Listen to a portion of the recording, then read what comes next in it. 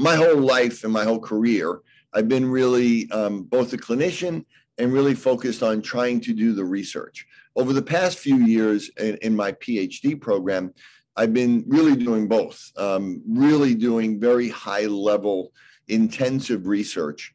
Um, and the reason is because we have to publish papers, we have to document. When you're creating something new, when you're creating a new model, no matter how great the results are, you have an obligation to prove it. Um, people come to me all the time and say, "Hey, have you seen this person's technique?" And you know they're getting great results. And my first question is, uh, "How do I know? How do you know? How do you know?" And I don't mean to be, you know, a pain about it, but I'm like, "How do you know they're getting really good results?" Some people say, "Well, I've seen it or I use it." Okay, but are you really getting the results that you think you're getting? And maybe you are, but other people are going to ask that question too.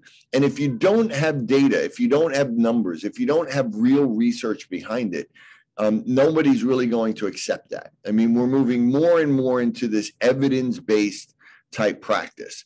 And that's important. It doesn't mean that cutting edge, you know, uh, forward leaning or experimental treatments aren't actually the most important.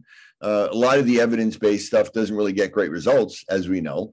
Um, but we do have an obligation to do that. And so the PhD, the reason why I chose the PhD I'm doing in cognitive neuroscience is because one, it's an area of great interest to me.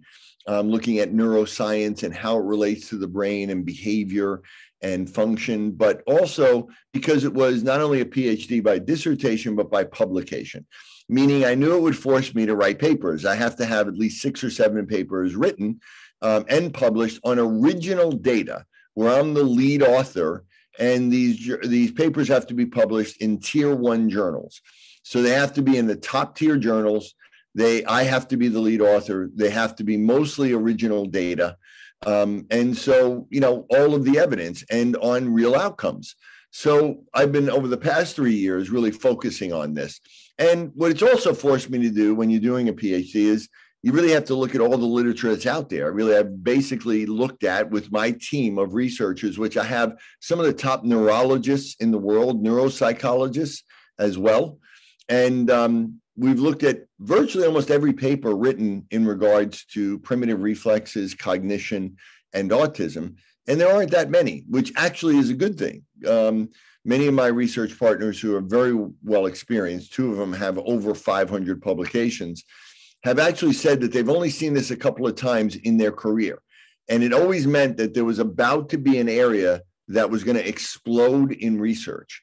Uh, one of my research partners talked about the late 70s, early 80s. Nobody was writing about attention. And then a couple of people, and one person in particular, started publishing papers on attention. And then it became an explosion. And now there are probably more papers written on attention than almost any other paper in neuroscience. And they said that looking at what's happening with primitive reflexes and its impact on brain development, that because there's been this increase recently, uh, really focused around my work and my research, it seems like it's one of those focal points in history where it's about to explode. And so, you know, it's important. It's an important topic. It's an important subject because it talks about, you know, brain and development and brain function and all of the things that are really the core issues of what's actually happening in the brain. And as I say over and over, uh, that's the one thing that I think our group does that nobody else does. We need, we can't answer that primary question what is actually happening in the brain what is the actual cause what are we trying to actually do um, nobody really knows that, and you know that.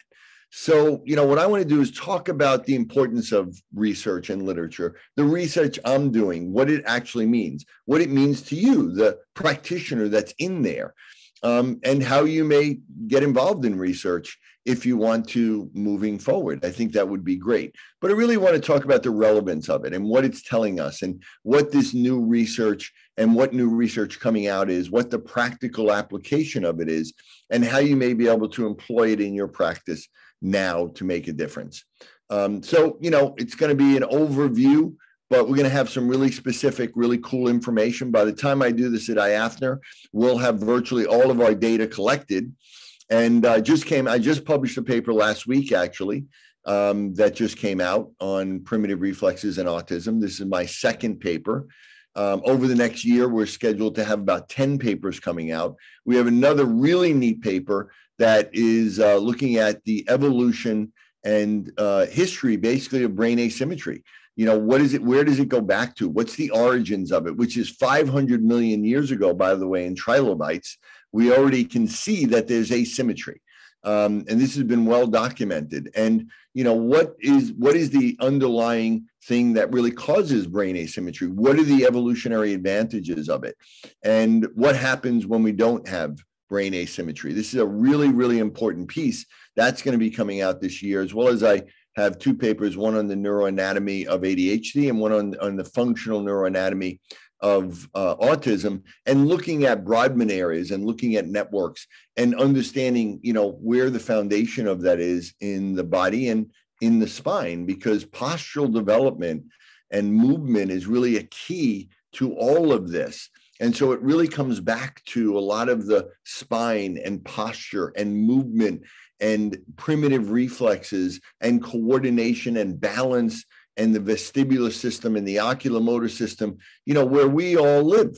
And uh, you know, so drawing that com- that comparison and bringing that all together is what I'm going to be doing in my in my speak uh, my my talk this year. So I'm really looking forward to it. I'm looking forward to hearing the other speakers. This is going to be a great year. I hope next year we can get together in person.